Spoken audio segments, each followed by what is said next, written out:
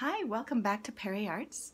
I'm just getting ready for classes to begin shortly and um, I wanted to go over um, the wedging technique. Now this is the ram's head technique, uh, wedging technique. That's, that's only one of many, but um, at the end of class, when we take our used clay, we dip it in a bucket of water um, and then put it into a plastic bag. When you take it out, it'll look something like this. Um, so if we cut it, um, we will often see that it's riddled with air pockets. Let me see if I can find a better one.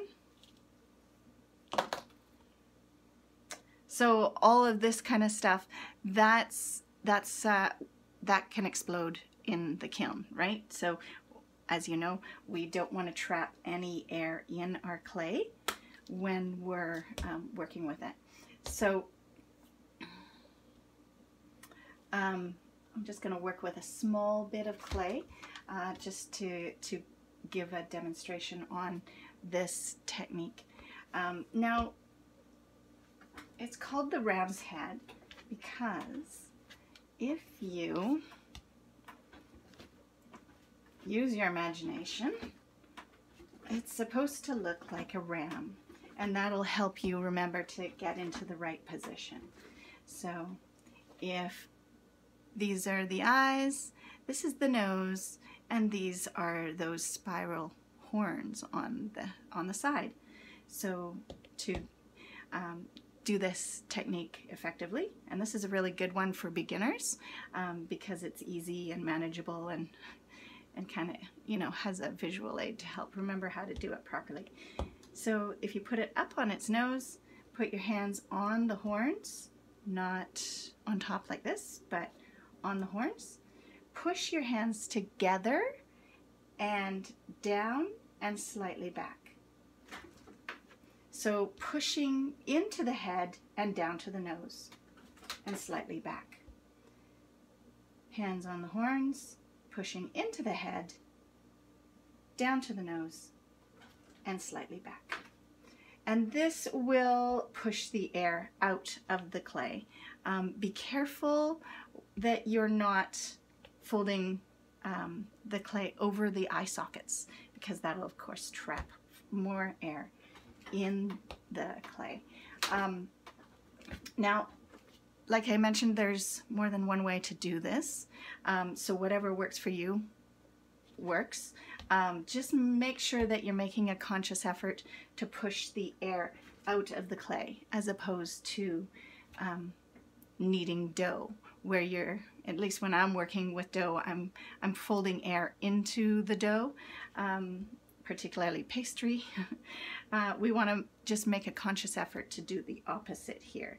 So we're pushing into the head, down to the nose, and slightly back to push the air out of the clay. Now, once we've done this a few times, and this isn't the best wedging table, it is moving quite a bit, good solid table is best. The best height um, is if you stand with your knuckles um, to the to the table. Uh, it should just rest comfortably at, at your sides.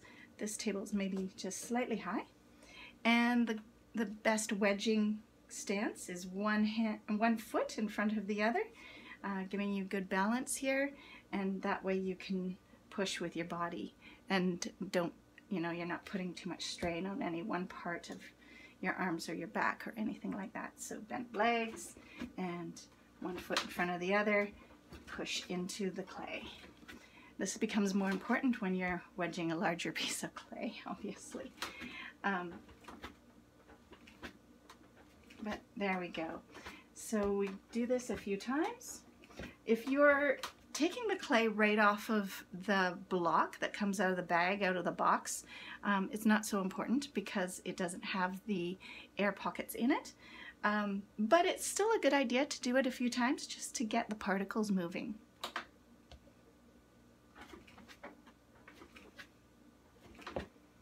we will, of course, go over this in class, but if we went over it too quickly, um, I hope that you found this video useful, or if you're working with clay at home. Um, if you did, please like the video below there, and uh, hopefully I'll see you in class. Until then, happy claying! Thanks for watching.